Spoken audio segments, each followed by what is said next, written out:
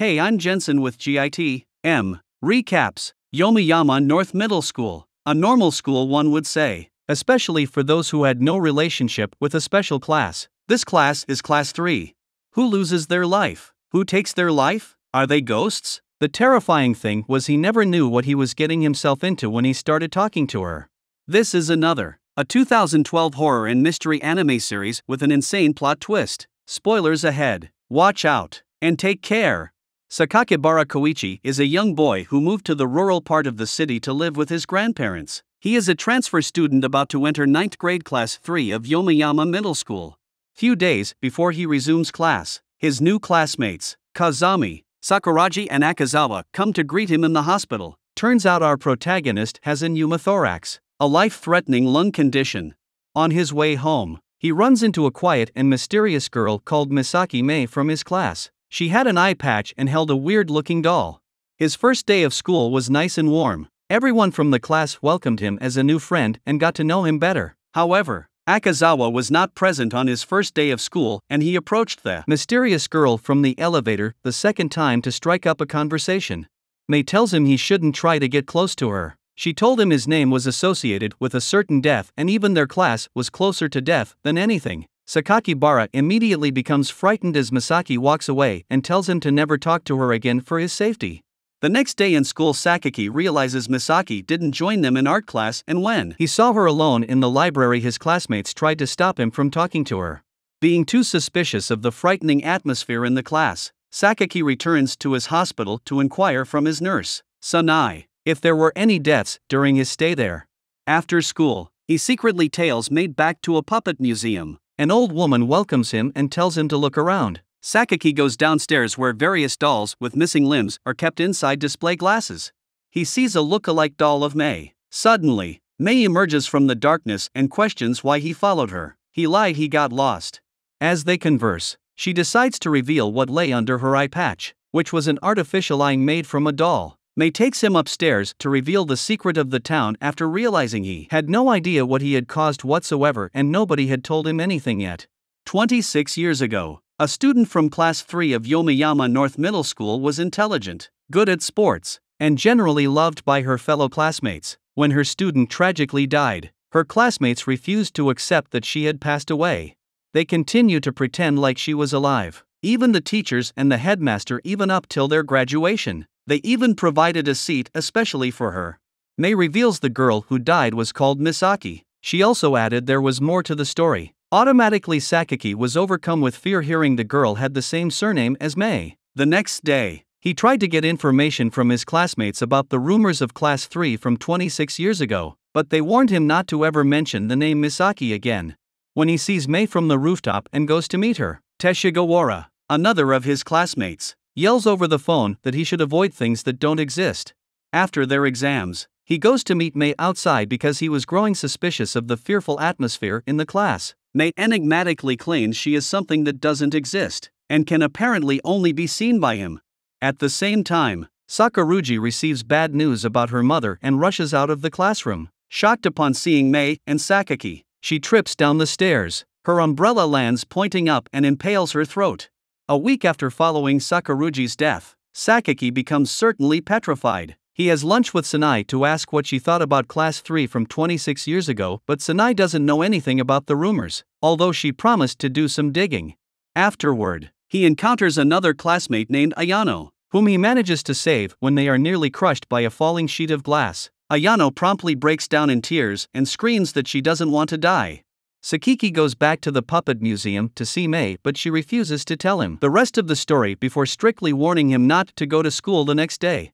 The next day in class, everyone is talking about the rumors of the ninth grade's class 3 and Sakuragi's death. They think it might be real or Sakuragi's death might be a coincidence. Either way, Akazawa blames Sakuragi's death on herself for not being present on Sakaki's first day of school to warn him. Now things have become more complicated. During the break, Sanae contacts Sakaki in school the day over whether Mei actually exists or not. However, the elevator she is riding falls down the shaft and crushes her. Another uprise of fear terrorizes the students again. A few days later, Sakaki is interrogated by the police regarding Sanae's death. On his way back from school, Mochizuki and Takabayashi escort him. Sakaki asks for answers, and Takabayashi agrees to tell him everything he knows. However, before he could, Takabayashi had a heart attack resulting in his death. His friends, his teacher, no one spoke to him.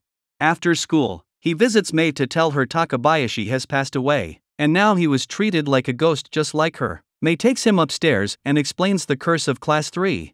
Following the fact that Class 3 of 26 years ago refused to let go of Misaki, who died, the class is now a place that invites the dead. In the preceding years, the dead started to join the class and drew Class 3 closer to death. Since nobody associated with them, they began to get closer and spend more time together. Until one day, their class teacher, for the sake of securing their future, took away his own life in front of them. With another death, the student realized that making another person non existent was pointless. So Akazawa, head of countermeasures, dissolved their punishment. Later, Mei and Sakaki go to their librarian, Mr. Chibiki, who was the homeroom teacher for Class 3 for 26 years. They wanted to know how to stop the calamity. Mr. Chibiki tells them about a certain year when the killing stopped mid year. This happened shortly after the class of that year went to visit a shrine in the mountains. However, they never knew what happened that stopped the calamity, and even in the years after, the coming class would attend the shrine, but the calamity never stopped. Their class teacher announces they would be going on a class trip to the mountains. Mochizuki, Teshigawara, Akazawa, and Sakaki get information from Mochizuki's sister on a man named Matsunaga who was a member of Class 3 15 years ago and stopped the calamity for that year. At home, Sakaki tries to get information from his aunt Reiko, who was in the same class as Matsunaga, but she couldn't recall anything.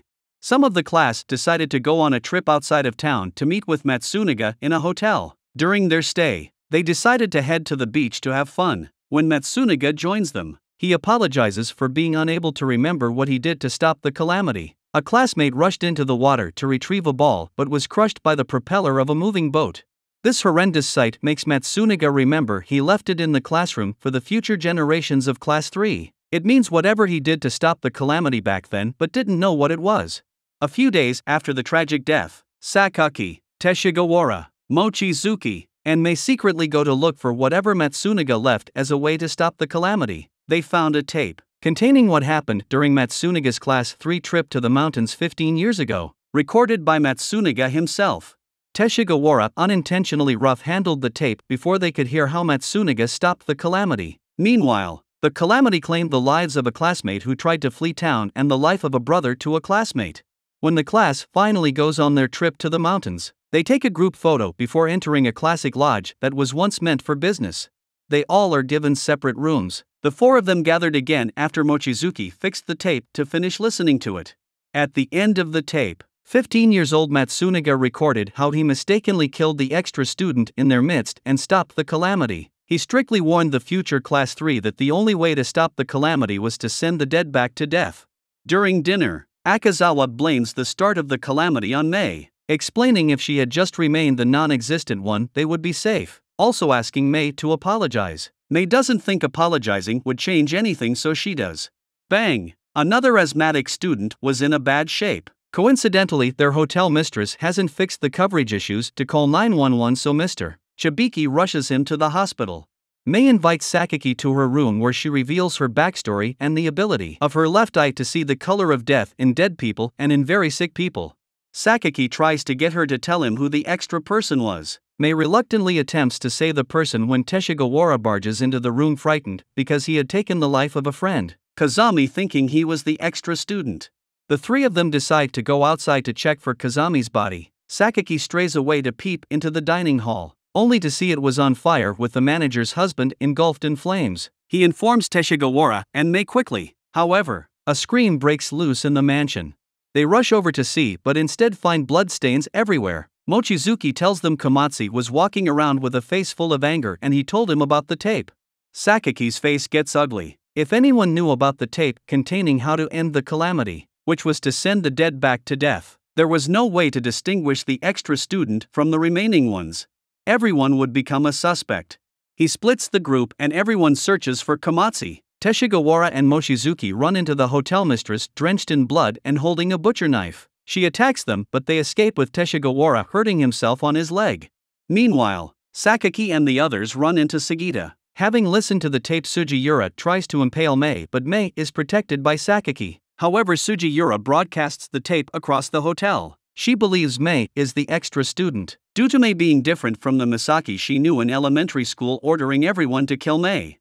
After an explosion from the dining hall kills another student, Sugiura injures Sakaki and comes after Mei, but is strangled to death when she gets caught in some wires. As Akazawa comes onto the scene, killing intense surfaces as she believes Mei kill Takako. Mei runs off, leaving Sakaki behind. More students die trying to escape from the hotel. Mr. Chibiki arrives to save Teshigawara and Mochizuki from the killer hotel mistress. Meanwhile, Sakaki comes across Kazami, who had been randomly killing students in order to find the extra student. He openly states he thinks Sakaki was the extra student, so he starts attacking Sakaki and manages to hit Sakaki to the ground. In the attempt to impale Sakaki, Akazawa literally knocks him out dead. Mr. Chibiki stops Akazawa from further committing any heinous thing. She yells out her frustration and runs away. Sakaki goes in search of Mei. The entire mansion is in flames. He sees Mei about to get into a final battle with Akazawa, so he rushes in to help, but he is pushed away and the building continues to collapse. Attempting to kill Mei. Again, Akazawa is hit by shattered glass caused by a lightning strike. As she passes away, she mentions to Sakaki how they had met a year and a half ago. Later on, Sakaki finds Mei. He learns that the extra one is none other than MS, Mikami rather, and Reiko, who died a year and a half ago. Although he didn't want to believe it, Mei's left eye could see the color of death, and she made no mistake in distinguishing MS, Mikami as the extra one. Realizing the memories he had forgotten, Sakaki reluctantly kills Reiko himself, ending the calamity, though he passes out from relapse. After Sakaki and Mei reflect on the memories they may soon forget, they and the other students record a new message for those who may face calamity in the future. As Teshigawara and Mochizuki hide the message, the last lines of the message are heard that's how to stop the calamity. How you interpret this is up to you. Just carefully consider your actions, think it through, and discuss it with your friends so you'll have no regrets.